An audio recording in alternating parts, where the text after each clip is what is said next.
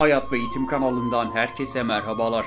Tekirdağ'ın Hayrabolu ilçesi Şalgamlı Aile Sağlığı Merkezi'nde görevli doktor İrem Büşra Üngül, ailesini ziyarete gittiği İstanbul'da kaçan kedisini almak isterken 5. kat balkonundan düşerek hayatını kaybetti. Hayrabolu'da Şalgamlı Aile Sağlığı Merkezi'nde görev yapan aile hekimi İrem Büşra Üngül, hafta sonu izninde İstanbul Bostancı'da bulunan ailesini ziyarete gitti. Cumartesi akşamı Doktor Üngül'ün Faik adını verdiği kedisi balkona kaçtı. Balkona çıkıp kedisini almaya çalışan Üngül dengesini kaybedip 5. kattan düşerek hayatını kaybetti. Üngül'ün genç yaşta hayatını kaybetmesi ailesi, yakınları ve sağlık camiasında büyük üzüntü yarattı. Üngül memleketi Hayrabolu'da düzenlenecek törenle toprağa verilecek.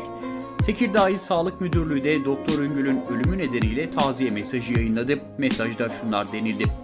Hayrabolu ilçesi Şalgamlı Aile Sağlığı Merkezi'nde hekim olarak görevini ifaden sağlık ailemizin değerli üyesi ve kıymetli meslektaşımız İrem Büşra Üngül, cumartesi gecesi İstanbul'da bulunduğu evin balkonundan düşerek vefat etmiştir.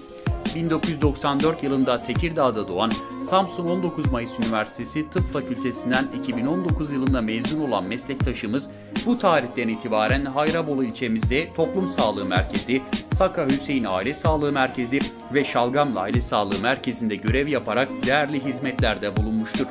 Meslektaşımızın ölüm haberi sağlık camiamızı derin üzüntüye boğmuştur. Kendisine Allah'tan rahmet, ailesine ve sevenlerine ve sağlık ailemize sabırlar dileriz denildi. Videomuzun burada sonuna geldik. Bizleri dinlediğiniz için teşekkür ediyoruz. Kendinize iyi bakın. Hoşçakalın.